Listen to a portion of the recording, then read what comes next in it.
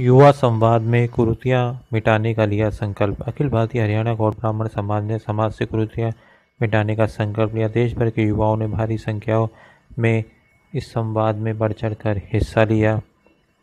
यह परिचर्चा जयपुर के निकट बैनाड़ा धाम पर हुई।